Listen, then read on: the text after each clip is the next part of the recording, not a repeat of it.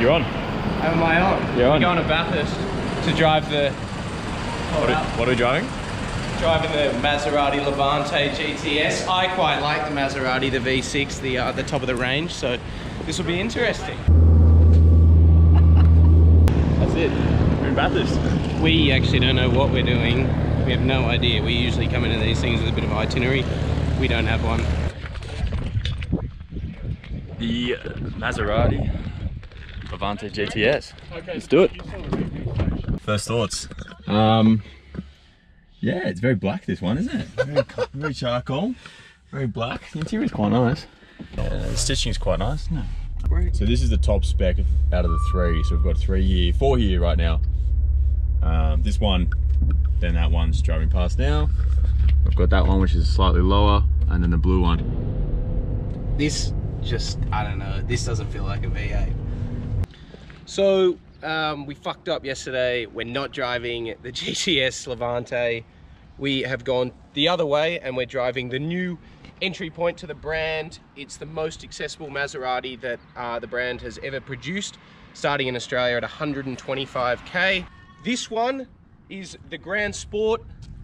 Uh, they obviously have a choice of the luxury package or the sport package. The exact same drivetrain. We're in the Grand Sport. We thought we were driving a V8 yesterday. We're not. We're driving the brand's entry entry level car, not their top of the range car. Um, I don't know what happened. explain a few of our uh, Gripes yesterday. initial reactions yesterday. Uh, but it sounds good. 125k. We're in the Grand Sport package. It's got the sport seats, uh, just a sportier trim option. They've also got the Grand Lusso, which is here, which we'll be driving later in a grey uh, with some Zegna interiors. And yeah, we're having a quick squirt around Mount Panorama. So I'm now in straight manual mode, down in second as we come down through the S's at Mount Panorama. And it sounds good. Certainly sounds pretty good. At does 125 grand. And for what you're buying too, you're buying a Maserati, it's luxurious, it's It's exclusive. it's exclusive, that's it. It's exclusive has been the word that's been kind of bounced around a lot in the last 12 hours. So we were just told that Levante in Australia makes up for 50% of the brand's volume. So they expect that to continue with this car and then they will launch a Levante GTS which maybe we'll get to drive at some point. Um, sort of to end of 2019, 2020, um, unconfirmed when that'll come to Australia, but that will have a significant price jump from the Levante S, um, and so it should with a twin turbo V8 in it. All right.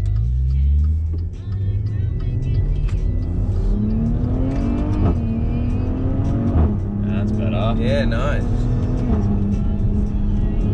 Yeah, nice. Well, I'll tell you what, it's got a bit of go, no doubt about that. Feels quick, doesn't it? It's pretty quick. You really have to pull on those gear Yeah. levers, don't you? I've seen sports cars, actual sports cars that have smaller paddles. Yeah, That guy was going for it. So I just opened up the price list for this particular car. This car, the Grand Sport and the Grand Lusso in front of us, are 159,990. So that's a 35k jump out of the foundation model car, which I just had a quick look inside. It looks bloody great. What's interesting about this price list is the Levante S starts at 179,990 and the Levante Grand Sport is 189,990. But if you drop it down to the entry model, the difference in price is 35 grand. Whereas if you're up at Levante S price, it's 10 grand. So Yeah, right. I'd like to see a spec sheet for the foundation model car and a spec sheet for this car and see what you're actually getting for your extra 35 grand. That would be interesting. But they, they just want to have that, that entry price as low as possible. So Yep. it, it is. They bring people into the car, Yeah. into the brand, yeah, of course. and then they upsell they see, them they into. see what they can get, then they Okay, upsell. yeah. Interesting. because Yeah. they won't have to upsell someone as much in the Levante S because it is only the 10 grand more. And, Correct.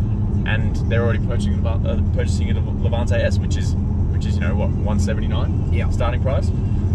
So what we've surmised is that they make no money on the foundation model, Yeah. and they make lots of money on the Grand Sport and the Grand Lusso. Yeah. This is the foundation model Levante 350.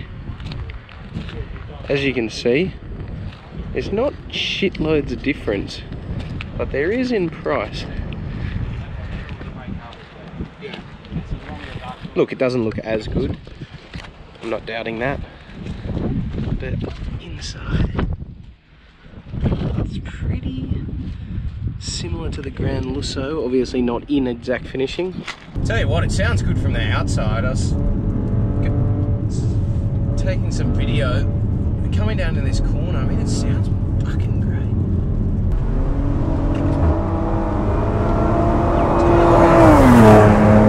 Not too much roll either.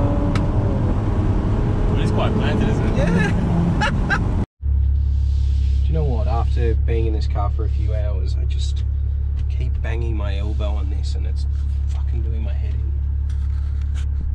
So uh, nothing much has changed in the last uh, four hours. Just been driving some uh, slightly nicer country roads, which have been fun. And we are now in Canberra, And we're ready to go home. and we are so ready for a beer. It's unbelievable.